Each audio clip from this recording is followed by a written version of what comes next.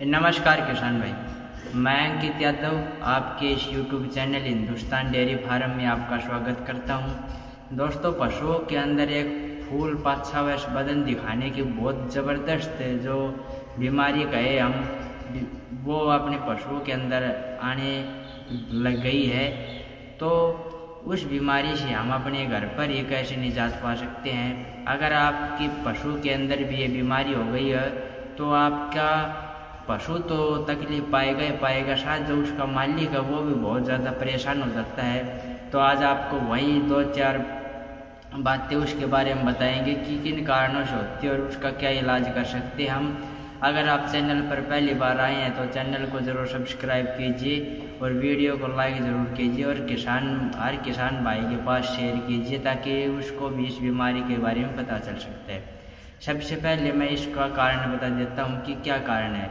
इसके आपको कारण सबसे पहला है कि अपने पशु के अंदर कैल्शियम की कमी आना।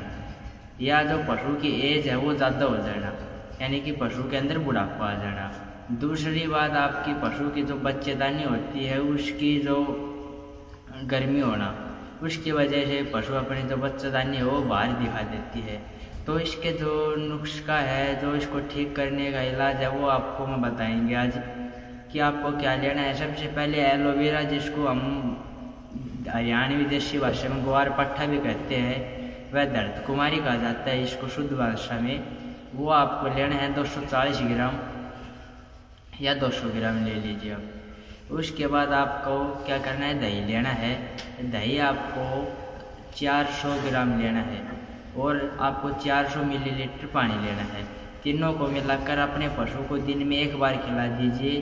ज़्यादातर तो आपके पहले बार में आपको हंड्रेड परसेंट रिज़ल्ट मिल जाएगा। अगर किसी कारणवश आपको नई कुछ परेशानी हो रही है ज़्यादा हो रहा है तो आप उसको दूसरे दिन दे दीजिए, आपको बिल्कुल अच्छा लाभ मिलेगा।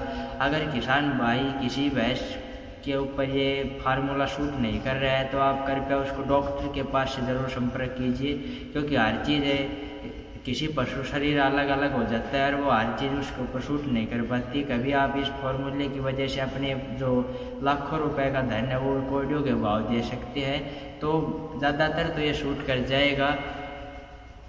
और अगर आप चैनल पर पहली बार आए हैं तो चैनल को ज़रूर सब्सक्राइब कीजिए। और सीमा पर जवान खेत में किसान जो भाई लगे उनको बार बार धन्यवाद धन्यवाद।